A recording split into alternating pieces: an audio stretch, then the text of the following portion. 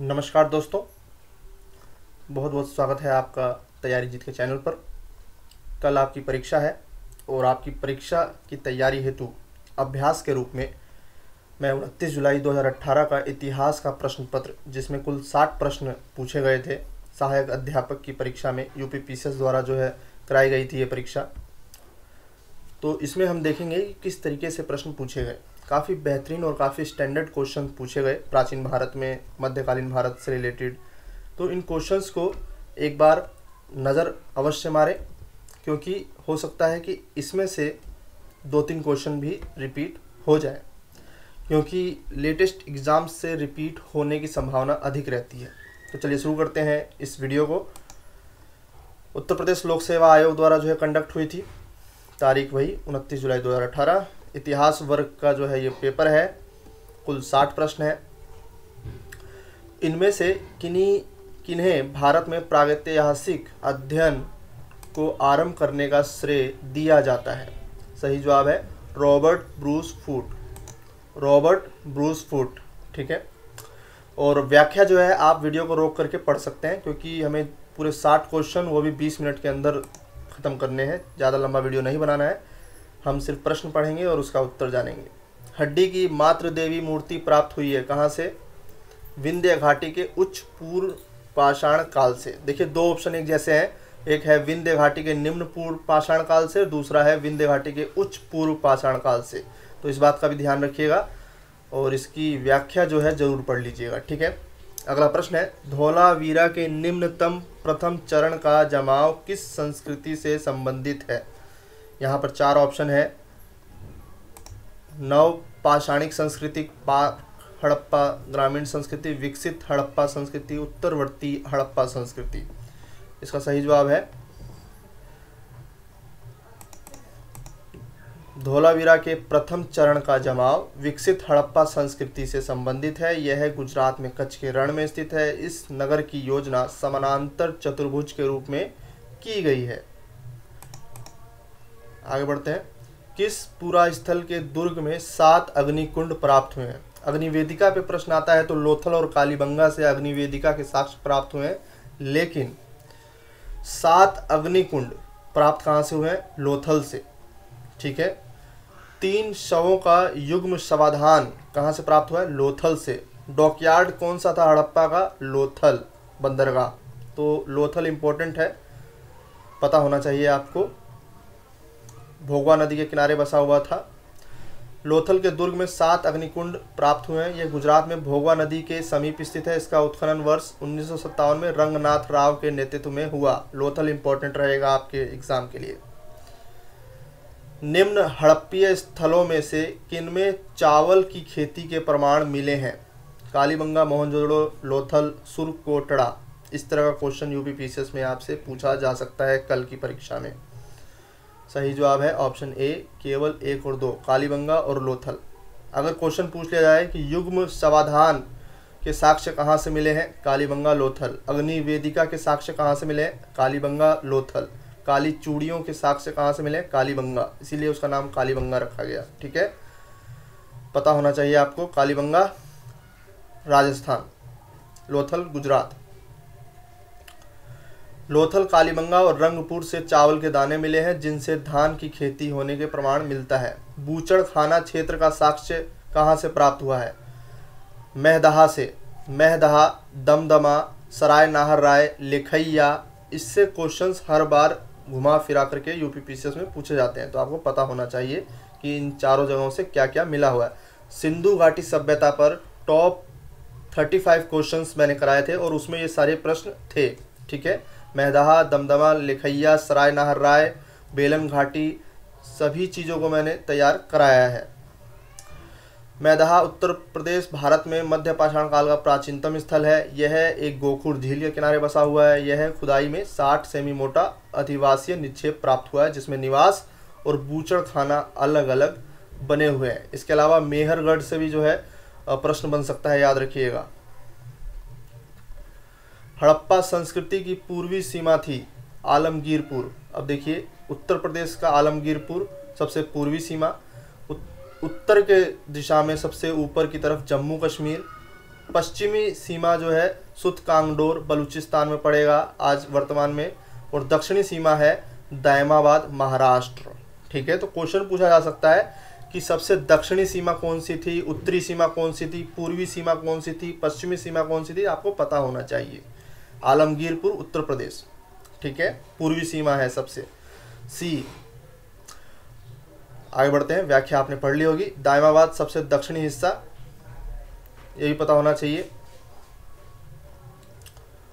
ऋग्वेद के किस मंडल में गायत्री मंत्र लिखा गया है? चतुर्थ, द्वितीय, प्रथम, तृतीय। सही जवाब है ऑप्शन सी, तृतीय। व्याख्या वीडियो को रोककर पढ़ लीजिएगा। नारायण के साथ विष्णु के तादात्म्य का प्राचीनतम उल्लेख प्राप्त होता है, तेत्रीय आरण्यक से। तेत्रीय आरण्यक से। इनमें से कौन वैदिक सूर्य देवता नहीं थे? विश्वकर्मा जबकि ये तीनों ही नाम सूर्य के हैं, विष्णु उरुक्रम सविता, सावित्री। विष्णु कर विश्वकर्मा जो है, सूर्य देवता नहीं थे। कनिष्क बौद्ध धर्म के किस संप्रदाय का अनुयायी था? तो वो महायान के जो है अनुयायी थे, ठीक है? कनिष्क कुषाण वंश का महानतम शासक था। उसने बौद्ध धर्म का मुक्त हृदय से संपोषण और संरक्षण किया। कनिष्क बौद्ध धर्म के महान संप्रदाय का अनुयायी बन चुका था, ठीक है? और गांधार शैली, मथुरा शैली कुषाण काल में ही जो है काफ़ी प्रसिद्धि हासिल की थी, ये भी याद रखिएगा। प्रथम जैन समिति किसने आहूत की? स्थूल भद्र ने, सी, भगवान बुद्ध ने अपना पहला उपदेश कहाँ दिया था? गौतम बुद्ध, जैन धर्म, इनसे रिलेटेड प्रश्न अक्सर पूछे ही जाते रहे हैं, इसलिए ध्यान रखिएगा। भगवान बुद्ध ने अपना पहला उपदेश ऋषि पतन में दिया था और इसको धर्म चक्र प्रवर्तन कहा गया। ठीक है? याद रखिएगा, धर्म चक्र प्रवर्तन जो है इसको कहा गया। और इनसे रिलेटेड काफ़ी सारे क्वेश्चन हैं, उनको भी देख लीजिएगा। भगवती सूत्र किस धर्म से संबंधित है? जैन धर्म से। मेगास्थनीज के लेखन में उल्लेखित एग्रोनोमोई कौन थे? एग्रोनोमोई मेगास्थनीज की जो है पुस्तक थी, इंडिका। ठीक है, ध्यान रखिएगा। और नगर के अधिकारी, यहाँ पे ऑप्शन डी होगा। इसकी पुस्तिका का वर्णन है, इंडिका। कोई बार क्वेश्चन पूछ लेता है मेगास्थनीज की पुस्तक का नाम क्या है? इंडिका सीरिया का राजदूत डायमेकस किस मौर्य शासक के दरबार में आया था? बिंदुसार। ठीक है? व्याख्या वीडियो को रोक करके पढ़ लें।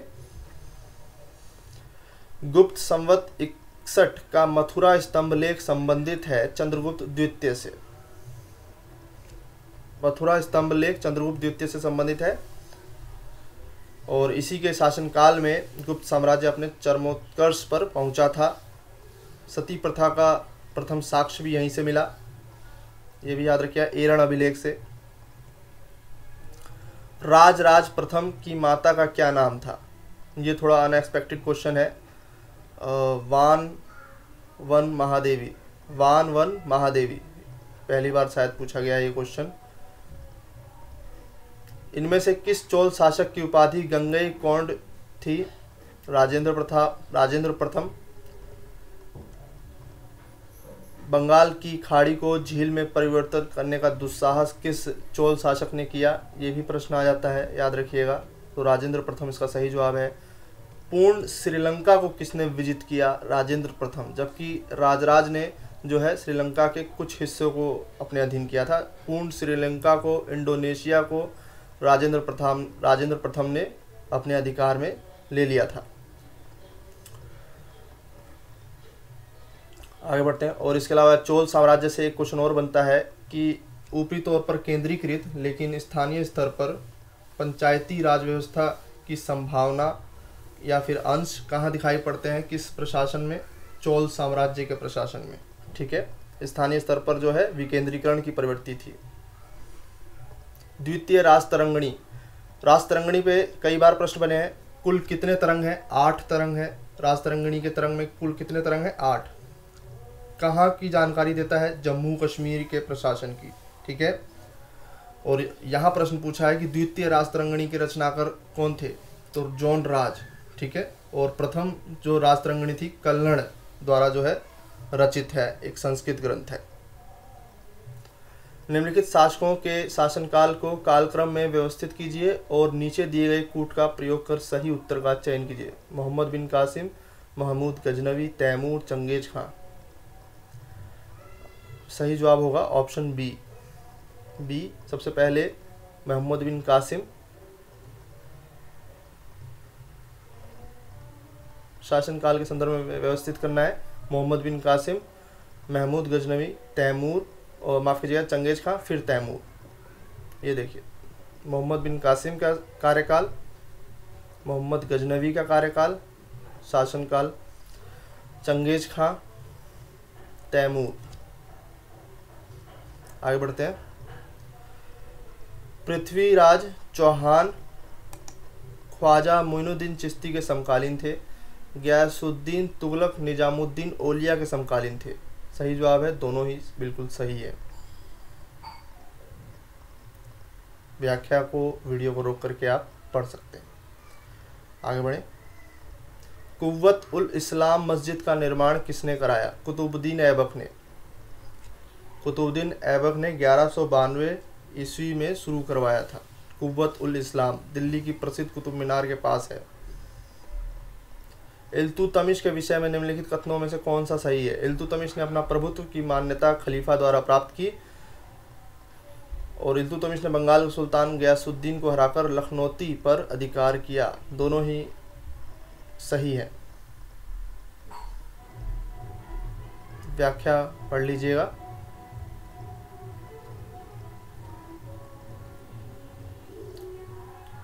अलाउद्दीन खिलजी के आक्रमण के समय देवगिरी का यादव शासक, ये रिपीट क्वेश्चन है यूपीपीसीएस में पूछा जा चुका है। रामचंद्र थे। वर्ष काल दे रखा है, सुल्तान जलालुद्दीन खिलजी की हत्या। खिजर खान ने दिल्ली का सिंहासन ग्रहण किया कब? सिकंदर लोधी ने एक नगर, आगरा की स्थापना कब की और कन्नौज का युद्ध? तो यहाँ पर जो सही सुमेल नहीं है, वो है ऑप्शन डी कन्नौज हुआ था 15 मई माफ़ कीजिएगा 17 मई 1540 में। हिमायू तथा शेरशाह के मध्य हुआ था। और कन्नौज या बिलग्राम, दोनों बात ही है। 17 मई 1540 ईस्वी में हिमायू और शेरशाह के मध्य हुआ था और हिमायू पराजित हुआ था। सुमेल करना है क्रम में लगाना है। तैमूर का आक्रमण, सांकेतिक मुद्रा का प्रचलन, मोहम्मद बिन तुगलक द्वारा जो है किया गया था। बाज़ार नियंत्रण नीति, मलिक छज्जू का विद्रोह। बाज़ार नियंत्रण नीति, अलाउद्दीन खिलजी, याद रखिएगा। मलिक छज्जू का विद्रोह और तैमूर का आक्रमण। तो सही जवाब है ऑप्शन सी। सबसे पहले आएगा। सबसे पहले मलिक छज्जू का विद्रोह, फिर आएगा बाज़ार नियंत्रण नीति, फिर आएगा सांकेतिक मुद्रा का प्रचलन और फिर आएगा तैमूर का आक्रमण। वर्ष काल आप देख सकते हैं। मोहम्मद बिन तुगलक का 1330 ईस्वी में जो है प्रचलन किया गया, सांकेतिक मुद्रा का। और ये योजना असफल योजना थी उसकी। राजधानी का तबादला भी इसने जो है किया था, परिवर्तन किया था स्थानांतरण। शेख सलीम चिश्ती की दरगाह कहाँ स्थित है? फतेहपुर सीकरी। यह एक सूफी संत थे। आगरा का किला, दिल्ली का लाल किला, कुतुब मीनार, ताजमहल। इनकी निर्माण तिथि के आधार पर इनको जो है क्रम में लगाना है। सही जवाब है ऑप्शन बी। सबसे पहले होगा आपका कुतुब मीनार, उसके बाद होगा आपका आगरा का किला, फिर होगा दिल्ली का लाल किला और फिर होगा Taj Mahal. Option B is the right answer.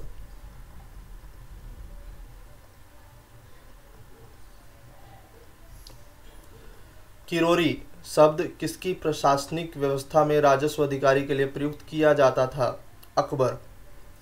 Akbar ने अपनी दहसाला प्रणाली को लागू करने के लिए पंद्रह सौ तिहत्तर ईस्वी में बंगाल, बिहार और गुजरात को छोड़कर संपूर्ण उत्तरी भारत में करोड़ी किरोरी नामक एक अधिकारी की नियुक्ति की थी।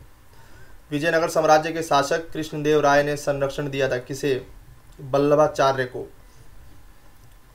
और अष्ट दिग्गज अष्ट दिग्गज जो आठ प्रसिद्ध कवि थे, वो भी इसी के शासनकाल में थे, याद रखिएगा अष्ट दिग्गज इसके अलावा एक और प्रश्न बनता है कि अष्ट प्रधान किससे संबंधित हैं? तो अष्ट प्रधान जो है, शिवाजी के प्रशासन से संबंधित है और अष्ट दिग्गज कृष्ण देव राय विजयनगर साम्राज्य के शासक से संबंधित है। पल्लवाचार्य भक्तिकालीन सगुण धारा की कृष्ण भक्ति शाखा के आधार स्तंभ और पुष्टि मार्ग के प्रणेता माने जाते हैं। इसके अलावा अमुक्त माल्यद जो है, वो कृष्णदेव राय की रचना है। अमुक्त माल्यद। कौन सा युग्म सही सुमेल नहीं है? कौन सा युग्म सही सुमेल नहीं है? Balban Marco Polo Marco Polo Balban के काल में नहीं आया था। ठीक है? इसके बारे में जो है व्याख्या दी हुई है। बाकी तीनों पढ़ देता हूँ मैं। देवराज के समय आया था अब्दुल रज्जाक। मोहम्मद बिन तुगलक के काल में आया था इब्न बतूता। महमूद गजनवी के काल में आया था अलबरूनी। श्री संप्रदाय किस धर्म से संबंधित है? श्री संप्रदाय। सही जवाब है वैष्णव धर्म। श्री संप्रदाय हिंदू धर्म के अंदर वैष्णव धर्म के चार संप्रदायों से संबंधित है। इसके अलावा एक और प्रश्न बनता है कि अयनार और नयनार। ठीक है? अयनार और नयनार। तो नयनार और अयनार को भी अच्छे से याद रखिएगा। अकबर के शासनकाल में प्रचलित एक दाम दशमलव मुद्रा में कितने पैसे के बराबर था। सही जवाब है ऑप्शन ए मीरे तुजुक से तात्पर्य था। मीरे तुजुक या मीरे तोजक धर्मानुष्ठान अधिकारी था। इसका कार्य धार्मिक उत्सवों आदि का प्रबंध करना था। निम्न घटनाओं को काल क्रमानुसार व्यवस्थित कीजिए और नीचे दिए गए कूट का प्रयोग कर सही उत्तर का चयन कीजिए। खुर्रम का विद्रोह, चौसा का युद्ध, धर्मत का युद्ध, खुसरो का विद्रोह। सही जवाब है ऑप्शन डी। पहले आएगा दो, चौसा का युद्ध, फिर आएगा खुसरो का विद्रोह, उसके बाद आएगा खुर्रम का विद्रोह और फिर आएगा धर्मत का युद्ध। व्याख्या आप देख सकते हैं। खुर्रम का विद्रोह 1623 चौसा का युद्ध, पंद्रह धर्मत का युद्ध, सोलह खुसरो का विद्रोह 1606 अकबर के शासनकाल में उपज का कितना प्रतिशत भू राजस्व के रूप में किसानों से लिया जाता था? ऑप्शन सी पैबाकी शब्द से तात्पर्य था भूमि। पैबाकी शब्द का तात्पर्य भूमि शब्द से है। और यह व्यवस्था औरंगज़ेब के शासनकाल में की गई। निम्न में से किस कृति को उसके फारसी अनुवादकों द्वारा रजमनामा शीर्षक दिया गया? महाभारत। ठीक है? लीलावती एक, इसके गणित से संबंधित जो है रचना है, लीलावती, याद रखिएगा। फैजी अकबर के समय का जो है एक श्रेष्ठ कवि था और इसने अनुवाद विभाग की स्थापना की थी और अकबर के आदेश से महाभारत के विभिन्न भागों का फारसी में अनुवाद किया, जिसका नाम रखा गया रजमनामा। भारत में पुर्तगालियों द्वारा प्राप्त किए गए स्थानों को उनके वर्षों से सुमेलित कीजिए तथा नीचे दिए गए कूट का प्रयोग कर सही उत्तर का चयन करिए। सही जवाब है ऑप्शन डी। कालीकट का होगा। 1500 कन्नानौर। कन्नानौर का होगा 1502 धाबोल 1522 पुन्नानी 1525 व्याख्या आप वीडियो को रोक करके देख सकते हैं। निम्न में से किस स्थान को 1661 ईस्वी में पुर्तगाल द्वारा दहेज स्वरूप अंग्रेज़ों को दिया गया? बम्बई ठीक है, दस पौंड के वार्षिक किराए पर ईस्ट इंडिया कंपनी को जो है दे दिया गया था। पुर्तगालियों ने अपनी राजकुमारी कैथरीन ब्रेगेंजा का नाम याद रखिएगा। उसका विवाह ब्रिटेन के राजकुमार चार्ल्स द्वितीय से किया था और दहेज में बम्बई दिया। कौन सही सुमेलित नहीं है? ब्लैक होल घटना, प्लासी का युद्ध, बक्सर का युद्ध, देवगांव की संधि। ध्यान से देखिए। उत्तर देखते हैं इसका। ऑप्शन डी 1803 ईस्वी में अंग्रेज़ों से देवगांव की संधि की और तथा कटक वर्धा नदी के पश्चिमी भाग को अंग्रेज़ों को सौंप दिया गया।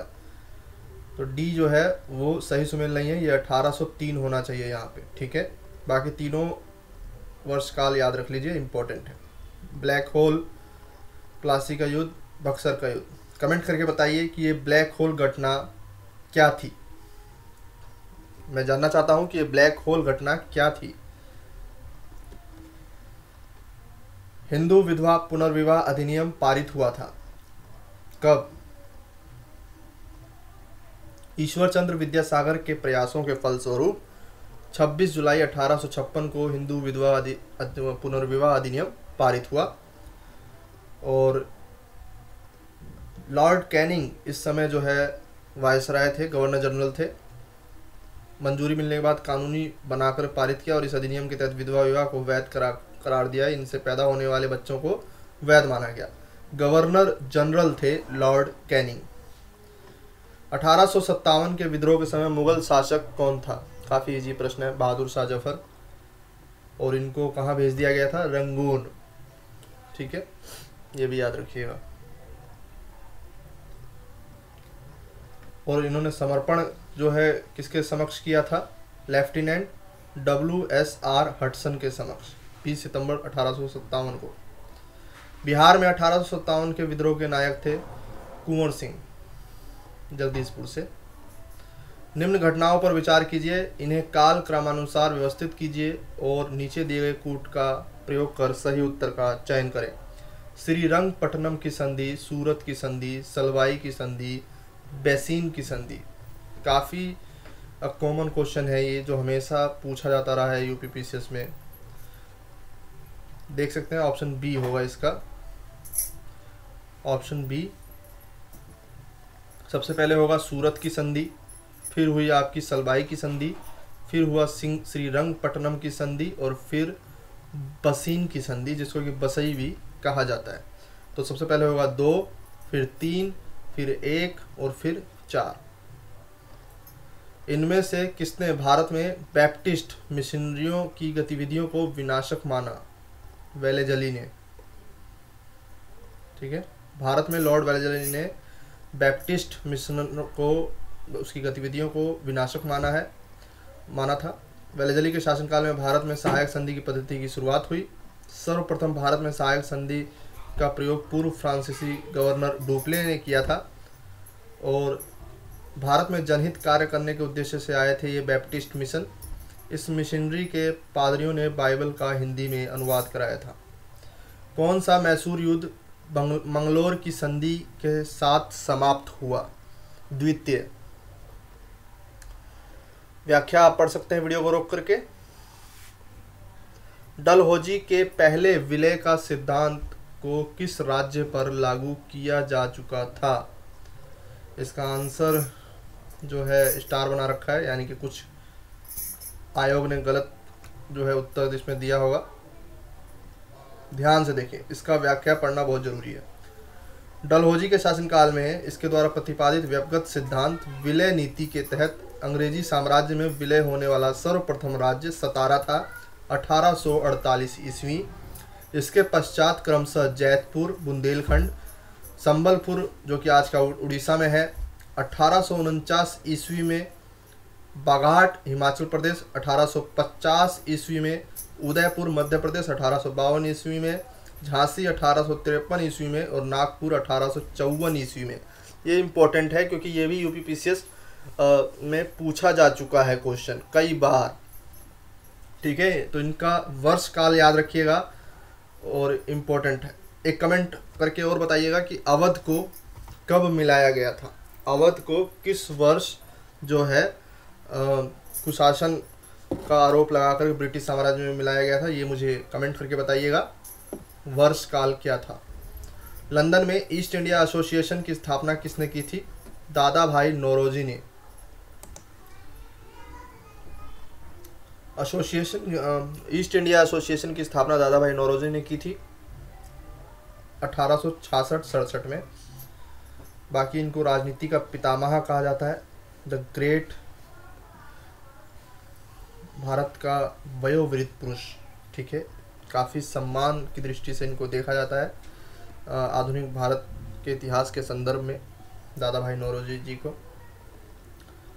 भारत की जनगणना अठारह सौ इक्यानवे में जनगणना आयुक्त कौन थे? बेंस।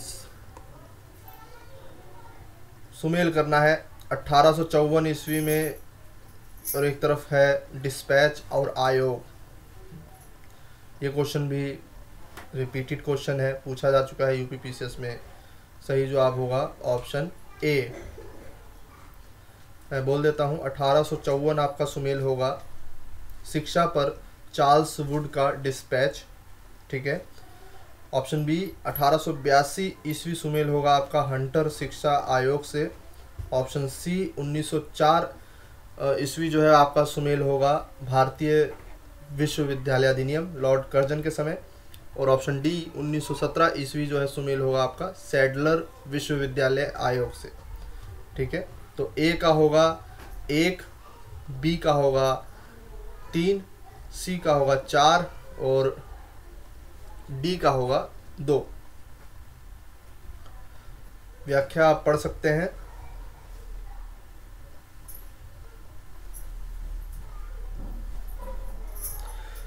दक्षिणेश्वर संबंधित है, किससे? रामकृष्ण परमहंस से। और दक्षिणेश्वर दक्षिणेश्वर, पश्चिम बंगाल के 24 परगना ज़िले में हुगली नदी के किनारे अवस्थित है। रामकृष्ण परमहंस मिशन स्वामी विवेकानंद ने जो है, आरंभ किया था। इनमें से कौन देवबंद स्कूल से नहीं जुड़े थे? शाह अब्दुल अज़ीज़। व्याख्या को ज़रूर पढ़ें। देवबंद स्कूल पर प्रश्न अक्सर पूछ लेता है। दारुल उलूम पे भी प्रश्न बन सकता है। आगे बढ़ते हैं। भारतीय राष्ट्रीय कांग्रेस के उदारवादी युग में भारतीय क्लैंड स्टोन की उपाधि किसे दी गई है? दादा भाई नौरोजी, दूसरा प्रश्न। इनकी व्याख्या पढ़ लीजिएगा।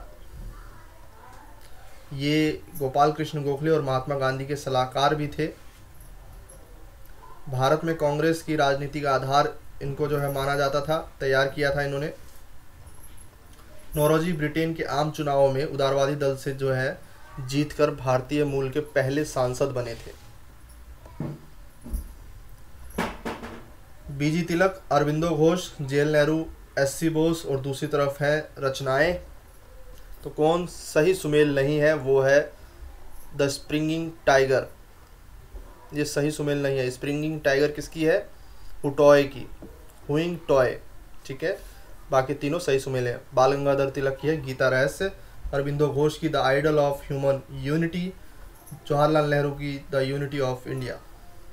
और सुभाष चंद्र बोस की कमेंट करके बताएँगे आप। निम्न में से कौन सा युग्म सही सुमेल नहीं है? जो सही सुमेल नहीं है, वो है ऑप्शन ए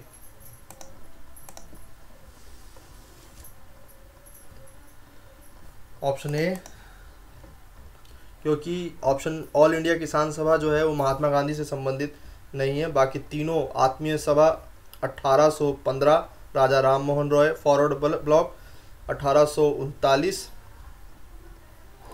सुभाष चंद्र बोस माफ़ कीजिएगा फॉरवर्ड ब्लॉक जो है उन्नीस सौ दशक में जो है स्थापित की गई थी। इसका एग्जैक्ट ईयर मुझे याद नहीं है। रामकृष्ण परमहंस मिशन, अठारह सौ सत्तानवे, विवेकानंद। आत्मीय समा, राजा राम मोहन रॉय 1815 और ऑल इंडिया किसान सभा, महात्मा गांधी। क्षमा कीजिएगा दोस्तों। अट्ठारह मैंने बोल दिया था, उन्नीस सौ उनतालीस में जो है फॉरवर्ड ब्लॉक की जो है, स्थापना की थी सुभाष चंद्र बोस जी ने, ठीक है? और ऑल इंडिया किसान सभा जो है, वो आपका 11 अप्रैल 1936 को लखनऊ में अखिल भारतीय किसान सभा की स्थापना की गई थी। स्वामी सहजानंद सरस्वती इसके अध्यक्ष थे एन जी रंगा इसके महासचिव चुने गए और 1936 में इस सभा ने इस दिन को किसान दिवस के रूप में मनाने का निर्णय लिया गया। जो प्रत्येक एक सितंबर को मनाया जाता है, वर्तमान में भी। आंदोलन प्रारंभ, इसके बाद अगला प्रश्न, महात्मा गांधी के संबंध में निम्नलिखित कथनों में से कौन सा सही है? वर्ष 1920 में इन्होंने असहयोग आंदोलन आरंभ किया, इन्होंने ग्राम उद्योग संघ आरंभ किया था। दोनों ही सही हैं। आंदोलन प्रारंभ किया, इस आंदोलन की पुष्टि भारतीय राष्ट्रीय कांग्रेस ने दिसंबर 1920 में नागपुर अधिवेशन में जो है की थी। हरिजन यात्रा समाप्त हो जाने के बाद गांधी जी ने वर्धा में ग्राम उद्योग संघ की स्थापना की, जिसका मुख्य उद्देश्य भारतीयों को सूती वस्त्रों की प्रति आकर्षित करना था। आगे बढ़ते हैं। एक सौ प्रश्न देखते हैं। सुभाष चंद्र बोस ने स्वाधीन भारत की अस्थायी सरकार का गठन की घोषणा कब की थी? ये की थी 21 अक्टूबर 1943 को। ठीक है? सुभाष चंद्र बोस ने सिंगापुर में स्वतंत्र भारत की अस्थायी सरकार का गठन किया, जिसके मंत्रियों में एच सी चटर्जी, वित्त, एम ए अय्यर, प्रचार, लक्ष्मी स्वामीनाथन, स्त्रियों के विभाग इत्यादि शामिल थे। बोस ने अस्थायी सरकार का मुख्यालय रंगून में बनवाया, जिसका जर्मनी तथा जापान ने समर्थन भी किया। अंतिम प्रश्न जो इस टेस्ट में जो है आपके लिए है और जो पूछा गया था उनतीस जुलाई की परीक्षा में इतिहास वर्ग के अभ्यर्थियों से, वो है, वर्ष 1947 में भारत विभाजन के बाद किसे संयुक्त रक्षा समिति, जिसे सैनिक कर्मचारियों, हथियारों, युद्ध सामग्रियों के विभाजन की ज़िम्मेदारी सौंपी गई थी का सर्वोच्च सेनापति बनाया गया। सही जवाब है रेड क्लिफ। रेड क्लिफ थे। व्याख्या पढ़ सकते हैं आप। तो इस तरीके से ये क्वेश्चन पूछे गए।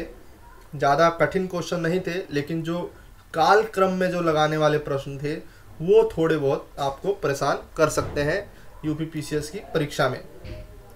अगर आप सीरियस कैंडिडेट हैं और काफ़ी अच्छे से आपने तैयारी की है तो कोई परेशानी नहीं आएगी, ठीक है? मिलते हैं अगले वीडियो में, तब तक के लिए नमस्कार, धन्यवाद, और आपको आपकी परीक्षा के लिए हार्दिक शुभकामनाएँ। धन्यवाद।